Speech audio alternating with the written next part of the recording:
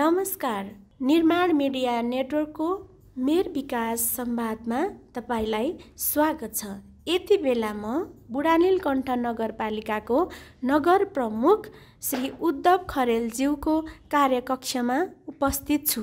उहाँ निर्वाचित हुनुभएको अवधि सकिने क्रममा छ। मुलुक अर्को स्थानीय निर्वाचनको प्रतीक्षामा छ। यस अवधिमा मेयर खरेलज्यूले जनताको आशा के कति पुरा गर्न सक्नुभयो पूर्वाधार विकास निर्माणको आँखाले उहाँसँग गरिएको संवाद यहाँ प्रस्तुत गरिएको छ। पूर्वाधारकै कुरा गरेँ कस्तो थियो? चौहत्तर सालभन्दा अगाडिको अवस्था कस्तो थियो? पचास सालभन्दा अगाडिको अवस्था त हामीले कुरा कुरा गरि नै हाल्नु हजुरले होइन? चुनौतीपूर्ण नै थियो। अब यो चौहत्तर सालभन्दा अगाडि कस्तो थियो र हजुरले कति गरे जस्तो हजुर आफैलाई अनुभूति भइरहेको छ? चौहत्तर सालभन्दा अगाडि पूर्वाधारका विकासहरू सुरुवात भएका थिए। बजेटको भोल्युम पनि बढ्दै थियो र परिवर्तन यो नयाँ परिवर्तन अनुसार सरकारमा पनि हाम्रा पहुँच पुर्याउन सक्ने अवस्था सिर्जना भएर थुप्रै कामहरू सुरुवात चाहिँ भएका थिए पुरा भएका थिएनन्। बजेट अभावले त्यतिकै रहेका थिए। अधु अधुरा थिए। अधुरा थिए। अब स्थानीय तह थिएन। कर्मचारीहरूको नेतृत्वमा भइरहेको विकास व्यवस्थित थिएन योजनाबद्ध थिएन। त्यस कारण अलिक व्यथिति थियो। तर पनि सुरुवात चाहिँ भएका थिए। किनभने बजेट भइसकेपछि मानिसहरूको चासो बढिसकेपछि हामी त क्रियाशील नै थियौँ नि त। हामी हामी जस्ता थुप्रै यहाँ गाउँ विकास समितिमा पहिला भएका नगरपालिकामा पनि हुन्छु भन्नेहरू राजनीतिक कार्यकर्ताहरू दलहरू अगुवा नागरिकहरू सबैजना चाहिँ क्रियाशील भइरहेको अवस्थामा यसलाई एकीकृत व्यवस्थित योजनाबद्ध बनाउन जरुरी थियो त्यो नगरपालिका आएपछि हुन सुरु गर्यो। पूर्वाधारलाई फेरि पुनः बनाउनु पर्ने अवस्था कतिको बिहोर्नु पर्यो अब हामी नेपालीहरूको योजना चाहिँ हाम्रो आफ्नै क्षमताले मात्रै पूर्वाधार विकास गर्न अलिक सम्भव हुँदैन रहेछ। विदेशमा कुराकानी गऱ्यो पैसा उताबाट स्वीकृत भयो त्यसपछि बल्ल काम गर्न सकिन्छ। तर हामीलाई चाहिँ छिटो चाहिए हुन्छ। हामीसँग साधन स्रोतले पनि गर्दै जाने विदेशबाट स्वीकृत भएपछि फेरि नयाँ योजना बनाउने भन्ने चलन छ क्या। पैसा नगएपछि अर्कालाई जे दियो जुन बेला दियो त्यही बेला गर्नुपर्छ। हामीले बनाएका सडकहरू साँगुरा भए यसलाई विस्तार गर्नु पऱ्यो भनेर कतिपय कुरा विस्तार गर्न लाग्यौँ। हिजो हालेका ढलहरू साना भए अहिले ठुला ढल हाल्नु पऱ्यो हिजो चाहिँ अब सडक राम्रो बनाएको थियो। ल अब त्यहाँ चाहिँ केबुल हाल्नु पऱ्यो भनेर आयो अहिले। बिजुलीको केबुल हाल्ने कुरा आयो। टेलिफोनको केबुल हाल्नु पऱ्यो फेरि खन्यो। मेलम्चीको पानी ल्याउनु पऱ्यो फेरि खन्यो। यी चाहिँ अब एकैचोटि भइदियो भए त हुन्थ्यो नि त। एकैचोटि हामीसँग खराब पैसा भइदियो भए त्यो गर्न सक्थ्यौँ। अब एकचोटि बिजुलीको आउँछ एकचोटि टेलिफोनको आउँछ एकचोटि बाटोको आउँछ एकचोटि अर्को थरी थरीका चाहिँ क्रमशः क्रमशः आउने हुनाले खानेपानीका पाइपहरू एकैचोटि राख्नलाई त हरबाउँ चाहिँदो रहेछ। यी सबै जुन जुन बेला आयो त्यही त्यही बेला गर्नु पर्दाखेरि चाहिँ भत्काउने र बिगार्ने र बनाउने र बिगार्ने काम पनि भएको छ जसले नोक्सान पुर्याएको छ। अप्रत्यक्ष रूपमा धेरै ठुलो नोक्सान। नोक्सान। छ तर एकैचोटि सबै त हाल्ने हाम्रो योजना मिल्दैन। भनेपछि यसलाई एकीकृत गर्ने समन्वय गर्ने विकासको एउटा त्यस्ता संयन्त्रहरूको निर्माण हुनु जरुरी छ भन्ने सबैले भनेका छन्। तर अझै पनि त्यो समन्वय हुन सकेको छैन। हाम्रो बुढालीकण्ठ नगरपालिका पनि बनाउँदै गयो फेरि भत्काउँदै गयो जस्तो देखिया छ। धेरै मान्छेहरू यसमा चाहिँ अब कुरा उठाउनुहुन्छ। हामी हामीलाई थाहा छ। मैले पोहोर सडक बनाएँ। आज बिजुलीको केबल हाल्न आयो। बिजुलीको केबल हाल्न पुऱ्याएर गयो। फेरि टेलिफोनको चाहिँ फाइबर हाल्नु पऱ्यो भनेर आयो। होइन? फेरि त्यसपछि आएर अब खानेपानी मेलम्ची पनि दिने भन्छ पाइप हाल्नु पऱ्यो अब भोलि फेरि के आउँछ थाहा छैन। सबै कुरा एकीकृत रूपमा गरियोस् भन्ने कुरा सबैलाई थाहा छ। तर हामीसँग पैसा छैन। हामी त अब कर उठाएर जनताबाट तिरेको करबाट विकास गर्ने कुरा हो। त्यसले चाहिँ त्यसले के भन्छ भने सडक बनाउने पैसा दिन्छ। सडक त नबनायो भने जनताको माग पनि सडक बनाउनु पऱ्यो भन्छ। सडक बनाउने पैसा दिन्छ अब फेरि अर्को साल त फ्री हुन्छ यही साल सडक बनाउँ भन्छौँ हामी। त्यसपछि आएर विदेशमा चाहिँ ल अब बिजुलीको पैसा दिन्छु भन्छ। बिजुलीलाई तिमीहरूलाई अन्डरग्राउन्ड गर यो नयाँ खालको हामी दिन्छौँ भन्छ उसले गर्छ। सडक बनाउने कुरा टेन्डर गरेपछि बिजुलीको पनि टेन्डर गर्ने टेलिफोनको पनि टेन्डर गर्ने खानेपानीको पनि टेन्डर गर्ने एकीकृत गर्ने। अधिकार एकीकृत रूपमा त्यस्तो संयन्त्र बन्नुपर्छ। त्यो अहिलेसम्म कुरा मात्रै भएको छ काम हुन सकेको छैन। सरकारले पनि पुँजीको अभावले त्यो संयन्त्रहरूको चाहिँ एकीकृत संयोजन गर्न सकेको छैन। अब नयाँ बन्ने सहरहरू चाहिँ त्यसरी एकीकृत गरेर गर्नुपर्छ भनेर जानुपर्छ। पुराना सहरहरूमा अलिक व्यवस्थित गर्नुपर्छ। यो संयन्त्र बनाउनुपर्छ। सरकार एउटा तिनै तहको सरकार सचेत हुनुपर्छ।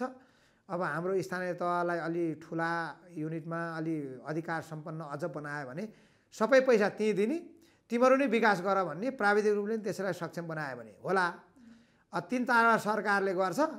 खानेपानी सरकार सडक सरकार फेरि तिन तहको सरकार फरक फरक सरकार भएपछि यो समन्वय हुन सकेको छैन। यो तिनै तहले ध्यान दिनुपर्छ र हामीलाई हामी चाहिँ त्यो कुरा सचेत छौँ। सचेत हुँदाहुँदै पनि अब हामीले मात्रै गर्ने होइन नि त। अब बिजुलीको काम अर्कैले गर्छ टेलिफोनको काम अर्कैले गर्छ खानेपानी अर्कैले गर्छ हामी हाम्रो बजेट पनि गर्छौँ। सडक सडक अर्कै छ। त्यस कारण एकीकृत गर्न जरुरी छ भन्ने कुरा तरदेखि माइसम्म सबैलाई जानकारी छ। तर यो कार्यान्वयनको बाटोमा जानलाई अझ समय लाग्छ जस्तो छ। पञ्चायत पनि भोग्नुभयो होला सायद बौद्ध रूपमा बौद्धल भोग्नुभयो। त्यसपछि अब राजाको काल बौद्धल भोगिसकेपछि गणतन्त्र। अहिले हामी यो अवस्थामा आइपुग्दा हजुर जब पचास सालको चुनावमा गाविस अध्यक्ष हुनुभएको थियो छवटा अध्यक्षहरू मध्ये अहिले मेयर हजुर हुनुभयो यसमा त युआर लक्की पर्सन होइन? जनताको पिता हुन पाउनु पनि लकी हो नि त। अब त्यो बेलाको अवस्थाको विकासक्रम गर्दा र अहिलेको भिन्नता हजुरले के पाउनुभयो? के के सहज थियो? असहज रह्यो। धेरै फरक छ नि। जमाना मलाई थाहा छ नेपालको बजेट तिन करोड कति थियो? नेपालको बजेट क्या? त्यो पहिला योजना बनाउँदाखेरि। पहिला योजना बनाउँदा। योजना आयो। उन्चास सालमा त्यस बेलाको बहुदल आइसकेपछि नेपाली काङ्ग्रेसको सरकार हुँदाखेरि सत्तरी प्रतिशत बजेट चाहिँ गाउँ गाउँमा पठाएका छौँ भनेर त्यो बेला प्रधानमन्त्री गिरिजा प्रसाद कोइरालाको पालामा भन्ने गरिन्थ्यो कि? भन्ने गरिन्थ्यो। त्यो सरकार आफै ढल्यो। एकाउन्न सालमा अर्को सरकार बन्यो। त्यो मनमोहन अधिकारीको पालामा सरकार बन्यो। त्यो बेला चाहिँ सत्तरी प्रतिशत दिएको तर पैसा नआएको र एकैचोटि तिन लाख चाहिँ गाउँमा पठाइदिने। उहाँहरू पैसा दिएपछि त पैसै पैसा भयो जस्तो लाग्यो गाउँमा। र व्यापक रूपमा आफ्नो गाउँ आफै बनाऊ भनेर काम गर्ने सुरु भयो होइन? त्यसपछि त्यो बेला तिन लाख रुपियाँ एकमुष्ट मात्रै आउँथ्यो। वार्षिक? तिन लाख रुपियाँ दिएपछि त्यसैबाट बजेट बनाएर काम गर। अलिअलि कर थोरै कर केही केही उठाउने कुराहरू हुन्थ्यो। मालपोत सालपोत अलिअलि उठाएका पैसाहरू केही पैसाले हामी चार पाँच लाखको बजेट बनाउँथ्यौँ। चौन्न सालमा मैले बनाएको बजेट चाहिँ पाँच लाख चान्चुन त्यस्तै थियो। भने अहिले मेरो चाहिँ तिन सय करोडको बजेट बनाउँछु म। होइन? साढे दुई सय करोडको बजेट बनाएको छ। त्यो बेलाको बजेट थोरै थियो थोरै योजना हुन्थ्यो तैपनि हामी जनपरिचालन गर्थ्यौँ जनतालाई लाउँथ्यौँ थोरै पैसा दिएर धेरै काम गर्थ्यौँ। अब अहिले बजेट पनि बढेको छ माग पनि बढेको छ मानिसहरूको चिन्तन पनि बढेको छ। त्यसकारण विकासको मोडल अलि फरक छ। त्यो बेलामा थोरै पैसा हुन्थ्यो जनता उत्साहका साथ बाटो खन्ने काम हुन्थ्यो डोजर पायो भने दङ्ग पर्थ्यौँ। अब अहिले डोजरै डोजर अब विकासका नयाँ प्रविधिहरू नयाँ संरचनाहरू त्योभन्दा अब हामी अब पहिला हामी भटाभट ट्र्याक बनाएर ग्राभेल हाल्न पाइहाल्यौँ हुन्थ्यो भने पिचै गर्थ्यौँ हामी। हो पिच देख्न पाए त क्या गजब हुन्छ भन्थ्यौँ होइन? अब धारा एउटा ल्याएर गाउँमा खसाल्न पाए क्या गजब हुन्छ भन्थ्यौँ। त्यो बेला सार्वजनिक धारा मात्रै दिन्थ्यौँ। अहिले हामी ढल र ड्रेन नभइकन ग्राभेल हाल्न दिँदैनौँ। त्यो सबै कुरा व्यवस्थित नभइकन सडक पिच गर्न दिँदैनौँ होइन? अघि एकदमै बिग्रिने पिच बिग्रिने उकालो ओह्रालोमा हामी ढलान गर्छौँ त्यो बेला त पिचै गएर दुई महिना पनि नटिक्ने माथिको पानी खतम पार्ने। थियो त्यो बेला धारा पानी भनेको अलिअलि पाइप ल्याएर सार्वजनिक धारामा दिन्थ्यौँ। अब घर घर धाराको कुरा आयो। जनसङ्ख्या बढा बढै छ। घरका मापदण्डहरू एकदम फरक हुँदै गएको छ। एकदम नियमित गर्नुपर्छ स्कुलका भवनहरू थिएनन्। कच्चा इट्टाहरू कच्चा छानाहरू थोरै थिए। अहिले बिल्डिङहरू एकदम ठुला ठुला खर्चिला महँगा बनाउँदा छ। पार्कहरू बन्दैछ त्यसपछि स्वास्थ्य चौकी जो सुकुलमा बसेर मैले सुरुवात गरेको। एउटा कोठा चाहिँ भाडामा लिएर अब अहिले स्वास्थ्य चौकी बिल्डिङहरू धमाधम बन्दैछन् अस्पताल बनाउने कुरा गर्दैछौँ। र हिजोको आजको बजेटको भोल्युम पनि बढ्यो। जनताहरूको आम्दानी पनि बढ्यो। हिजोको भन्दा आर्थिक सामाजिक सम्बन्ध पनि बढ्यो। र अहिले विकासको गति पनि बढेको छ। थुप्रै विकासका कामहरू भएका छन् प्रशस्त भएको छ। यहाँका मान्छेले भौतिक विकासमा चाहिँ हामी फड्कै मारेका छौँ।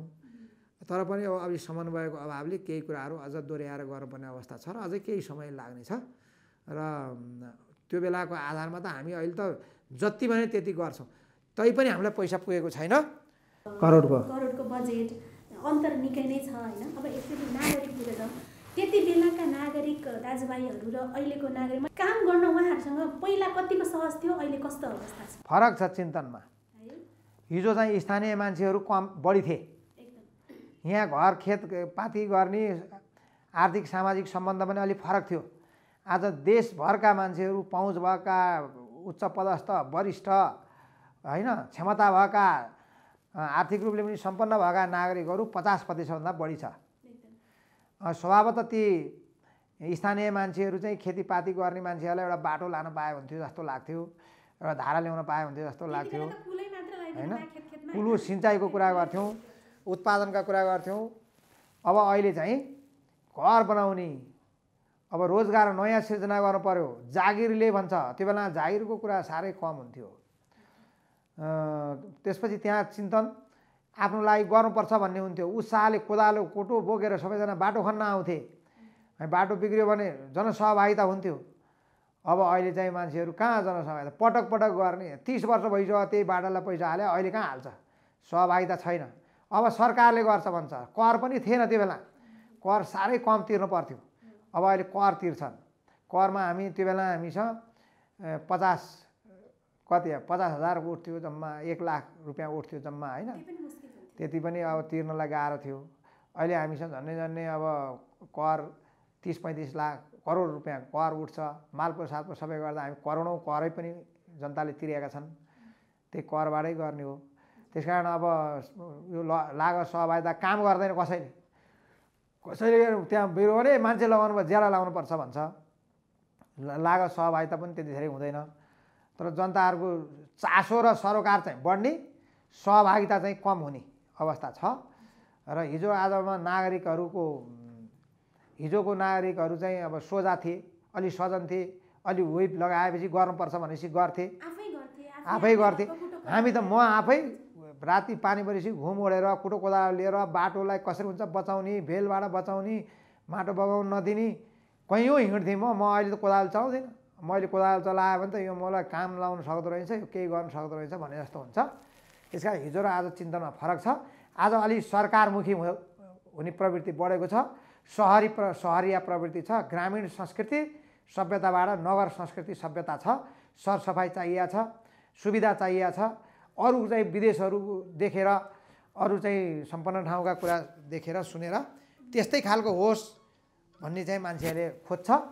र हिजोको भन्दा चिन्तन र संस्कृतिमा अलिकति फरक चाहिँ पक्का भएको छ? नागरिकहरू अलिक सचेत भएका छन्। इनोभेटिभ कुराहरू मन पराउँछन्। अलि सुशासनका कुराहरू हुनुपर्छ भन्छन्। नागरिक अब केही कुरा यहाँ लुकाएर लुक्न सक्दैन। हिजो चाहिँ अलिअलि यसो आफ्नो हिसाबले गर्थे नेताहरूले केही थिचोमिचो गर्थे शोषण गर्थे जालझेल गर्थे सम्पत्तिमा भन्ने थियो। अब त्यस्तो गर्न सक्दैन अब। अब के साँच्चै यो तिन तहको सरकारले हाम्रो देश चाहिँ विकासको गतिले अझ उग्र लिन्छ नै भन्ने लाग्यो हजुरलाई। यो राज्य संरचनाको कुरा हो। हिजो पञ्चायती व्यवस्था थियो। सरकारले जे जे भन्यो त्यही त्यही मान्ने मात्रै कुरा थियो। जनता आफ्नो लागि आफै गर्नु पर्थ्यो माथिबाट पैसा पनि दिन सक्दैन थियो। अँ, त्यस बेला अहिले पछि चाहिँ बहुदलीय व्यवस्था आयो। दलहरू अलिकति क्रियाशील भए राजनीतिक चेतना अलिक बढ्यो। विकासमा अलिक सहभागिता बढेकै हो बहुदलीय व्यवस्थामा। किनभने जनताप्रति राम्रो देखिनको लागि पनि जनताकै केही कार्यकर्ताहरू क्रियाशील हुने नै पर्थ्यो। दलहरू भएपछि स्वभावतः जनता काम गर्नको लागि अलिकति क्रियाशीलता बढेकै हो। अब अहिले गणतन्त्रमा अब तिन तहको सरकार आएको छ। केन्द्रबाट सबै केन्द्रबाट चाहिँ दिएँ भन्ने केन्द्रमै हालिमाली हुने प्रवृत्तिबाट सबै केन्द्रमा धाउनु पर्ने अवस्थाबाट अब आफ्ना सानातिना समस्याहरू जनताका समस्याहरू स्थानीय तहबाटै समाधान गर्नको लागि सक्षम छ। यहीँ छ मौलिक अधिकारदेखि सारा कुराको व्यवस्थित गर्ने तिनै तहको अधिकार हुँदाहुँदै पनि स्थानीय तहलाई दिएको एकल अधिकार का कामहरूले पनि जनताहरूलाई धेरै राहत र सुशासन प्रजातन्त्र को उपभोग गर्न सक्ने अवस्था सिर्जना भएको छ। स्थानीय प्रतिनिधिहरू राम्रा भए असल भए जनतालाई सचेत बनाउँदै गर्न चाहने हो भने जनताका धेरै कुराहरूको समस्या हल स्थानीय तहबाट हुन्छ। एउटा राम्रो हो अहिलेसम्मको सबैभन्दा प्रगतिशील यो अवस्था हो। यो बुढा नीलकण्ठ सुन्दर नगरीमा अब अझै सुन्दर बनाउन कस्तो योजना छ अब पार्क त सुन्ने केही पनि थिएन पहिला। यो यो गाउँ थियो गाउँमा के को पार्क हुन्छ? गाउँमा पार्क भयो भने चलनै थिएन यहाँ। गाई गाई गाई चराउनु भन्थ्यो खेलकुद मैदान भन्थ्यो त्यत्तिकै जहाँसुकै अब भिर पाखो पहरा सार्वजनिक जग्गामा हो होइन? बल्ल अब सहरमा चाहिँ पार्कहरू चाहिन्छन् खुल्ला क्षेत्र चाहिन्छ। भनेर भएका सार्वजनिक जग्गाहरूलाई व्यवस्थित गर्दै हामी चाहिँ साना ठुला पार्क गरेर झन्डै झन्डै दुई दर्जन जति हामी पार्कहरू निर्माण गर्दैछौँ। एक दर्जन जति चाहिँ तयारी नै भइसके। कहाँ बुढा नीलकण्ठ नगरपालिकामा साँच्चै बिहान बेलुका खाना धौधौ हुने खालको गरिब जनताहरू हुनुहुन्छ? सहरमा पनि गरिब हुन्छन्। गरिब चाहिँ कस्तो छ भने धेरै धनीको अगाडि एक रुपियाँ जग्गा पनि गरिब हुन्छ। एक रुपियाँ अगाडि चार आना जग्गा भएर घर भएको गरिब हुन्छ। आर्थिक असमानतालाई कम गर्दै लाने नीति सरकारले लिनुपर्छ। अतिरिक्त मुनाफा लिने कुरालाई हामीले सरकारले पनि यसलाई नियन्त्रण गर्नुपर्छ नीति त्यस्तो हुनुपर्छ। राज्यले दिएको गरिबलाई दिने भनेको विपन्न उपचार कोष धनीले प्रयोग गरेका छन्। गरिबहरूलाई रोजगार भनेका छन्।